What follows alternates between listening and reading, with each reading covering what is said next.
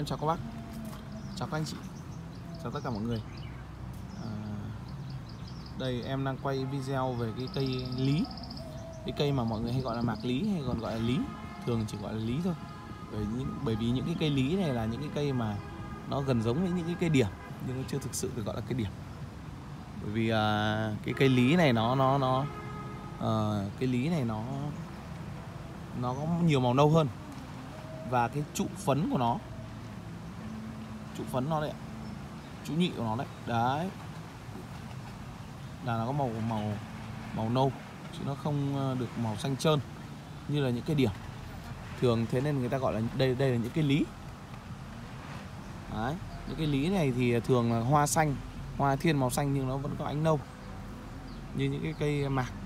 Đấy chị nhìn theo ạ. Đấy, đây là những cái lý. Những cái lý này thì uh, à, cần hoa nó cũng là màu xanh nụ đây.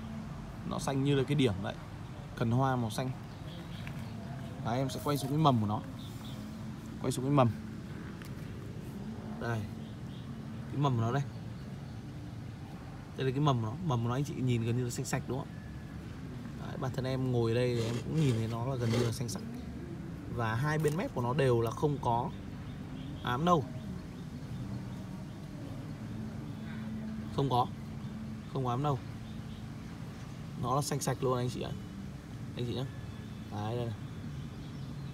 đấy chị nhìn cái mầm nó gần như xanh sạch đúng không ạ?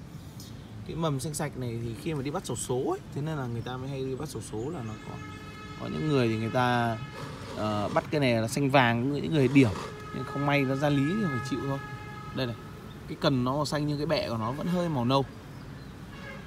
Đấy, nhưng gần như là những cái mép của nó là gần như rất sạch. Đấy đây anh thấy không? cần hoa nó sạch trơn xanh trơn. Cần hoa nó xanh nhưng mà cái cái ờ, bọc của nó thì nó lại là màu nâu. Đấy, có màu nâu. Và đây là bông hoa. Bông hoa của nó thì những cái cây lý thì thường là nó hơi thiên về màu, nó màu xanh và màu nâu. Xanh nâu. À, và cái trụ nhụy của nó là màu tím. Trụ nhụy của nó có ánh màu tím hồng ấy. Nâu ấy. Đấy. thì là như vậy. Cái lý có một số những cái điểm ấy điểm mà nhưng mà trụ nhụy của nó thì vẫn là màu nâu như này. Nhưng cánh nó rất là sạch. Nó sáng hơn thì gọi là một số một số những cây đấy thì chỉ gọi là số ít. Đấy. nhưng còn đa phần những cây này gọi là cây lý còn những cái điểm cánh là sạch xanh và trụ nhụy thường là sẽ trơn. Đấy gọi là điểm.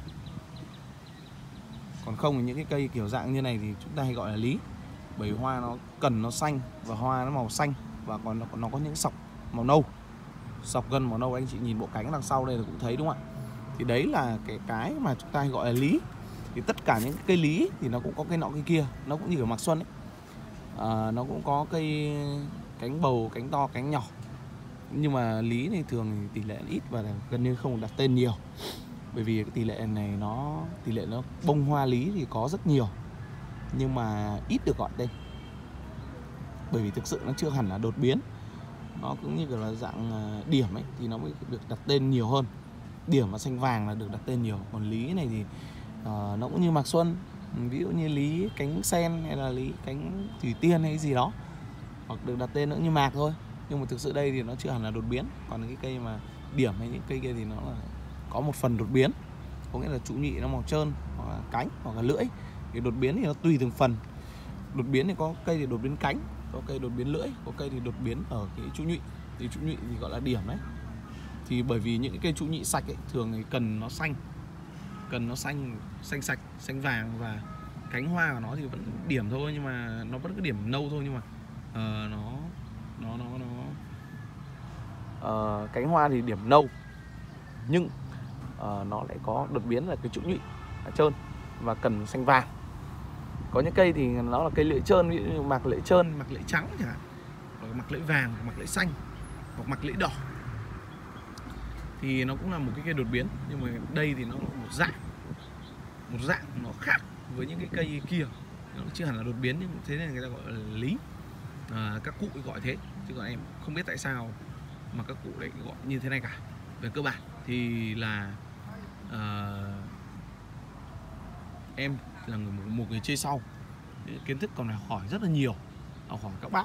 À, cái nào là cái điểm chung cái nào là cái đẹp cái nào là cái xấu đẹp ở mức độ nào đột biến ở đâu đặt tên như nào. Thế nên là ở trên cái kênh thiên là ngàn hoa của em thường em chỉ có những cái cây mà uh, có tên ấy, thì em mới làm quay video thực sự. Chứ còn những cây không có tên thì gần như là em rất là ít làm và gần như là không làm. Đấy. Thì uh, những cái cây em muốn em muốn uh, để mọi người xem ấy thì nó phải có tên có hoa. Và côn bông như nào nó đột biến ở đâu thì nó mới được đặt tên đúng không ạ? Chứ một cái cây bình thường thì đặt tên làm gì? Nó không giá trị gì nó như cây bình thường thì không gì để đặt tên. Đấy, thì đấy là cái mà các anh chị cần tìm hiểu và nghiên cứu về cái sự đột biến nó. Có cây đột biến cánh đột biến lưỡi đột biến uh, trụ nhụy có đột biến cần hoa. Đấy, chứ còn hương thì gần như em thấy không không thấy ai gọi là đột biến hương à? Bởi vì hương thơm thì gần như là nó xem nhau. Đương nhiên là cái ví dụ như là cây mà anh chị mua ở yên tử thì nó sẽ hương thơm khác cây hòa bình khác cây cao bằng. Đương nhiên nó sẽ khác nhưng nó vẫn có đặc trưng đặc trưng chung của cái cây uh, địa lan địa lan xuân. Nó có cái đặc trưng hương thơm đặc trưng chung. Còn nó đương nhiên là mỗi vùng xuất xứ thì nó sẽ có một cái riêng. Cây gì cũng vậy thôi ở đâu cũng vậy. Kể cả phong lan phi điệp. Thì uh, phi điệp ở ngoài bắc thì nó hương thơm đặc trưng riêng phi điệp miền nam nó có đặc trưng riêng. Ví dụ như vậy thì địa lan nó cũng như vậy chia theo vùng hương thơm thì nó có đặc trưng của địa lan xuân. Nhưng theo vùng thì có thể có những cây nó sẽ đậm hơn có cây nó tỏa hương mạnh hơn có cây thì nó mùi nó hương nó nhẹ hơn. Thì đấy là phụ thuộc vào tùy từng cây tùy từng cây của và vùng xuất xứ của nó. Thì đấy là một trong những cái dạng mà thể đột biến của cây. À, cây này thì người ta gọi là lý và không không có sự đột biến nhiều. Nó chỉ có là thiên hoa thiên màu xanh và cần màu xanh. Đấy là sự đột biến của nó. Còn thực ra thực sự đột biến của nó thì phải về là cái trên bông hoa thì người ta gọi là đột biến đúng không ạ?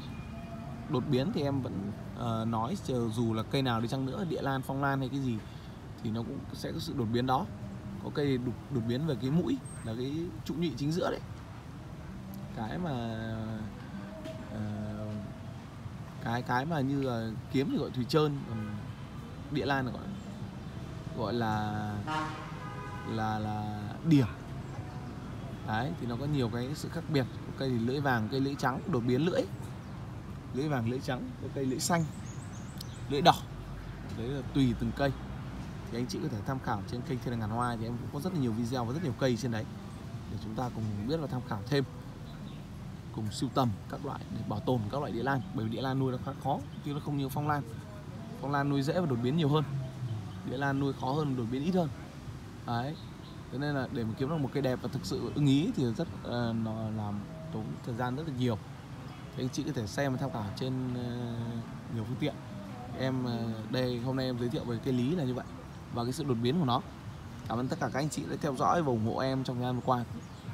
Em hẹn gặp lại tất cả mọi người vào những video sau và những cái cây địa lan khác để em cùng uh, chia sẻ những cái kinh nghiệm và những cái mà mình có, mình biết để các anh chị khi mà mua địa lan ấy, không bị nhầm lẫn giữa cây điểm, giữa cây lý với nhau. Như cây điểm với cái lý đây là giống nhau này. Đấy, đúng ạ? Nó chỉ, cây cây này anh chị mà nhìn xem cái video của cái cây ờ, điểm cánh sen ở phòng thì nó giống nhau lắm. Bởi vì nó nó nhiều màu nâu, cánh nó nhiều màu nâu. Nhưng cái là khác nhau là trụ nhụy. Cái này là nó là có ánh nâu, còn cái cây kia nó bị nâu còn cái cây cây điểm kia là nó là xanh sạch. Trụ nhụy nó trơn vàng trơn như cái cần hoa này cần hoa màu xanh đấy. Đấy. Thì đấy là những cái điểm khác nhau giữa giữa một số cây và cái sự đột biến của nó. Còn đương nhiên cái nào đẹp thì mọi người đều đặt tên bởi vì để mà kiếm được một cái cây địa lan đẹp hay là một cái uh, bông hoa đẹp thôi. Chứ không không nói cái gì cả. Thì thường những cái cây đẹp xuất sắc và nó thực sự đẹp thì mọi người sẽ đặt tên uh, tạm gọi như vậy để dễ nhớ cái cây đó và để uh, lưu truyền. Truyền lại ờ, cho những người chơi mới như em chẳng hạn để sưu tầm thêm và nuôi trồng để phát triển. Bởi vì địa lan bây giờ càng ngày càng ít rồi trên rừng rất là ít những cây đột biến này mình cần càng cần cần phải uh, trồng tốt để lưu giữ lại những cây địa lan này. Cảm ơn tất cả mọi người xin chào mọi người và hẹn gặp lại mọi người vào những video sau. Vào những cái cây địa lan cũng như cây hoa lan và cách chăm sóc khác. Xin chào và hẹn gặp lại.